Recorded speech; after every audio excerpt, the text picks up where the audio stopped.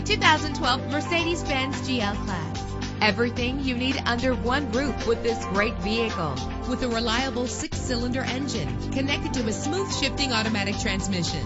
Navigation included to help you get to your destination with ease. The anti-lock braking system will help deliver you safely to your destination. Let the sunshine in with a sunroof.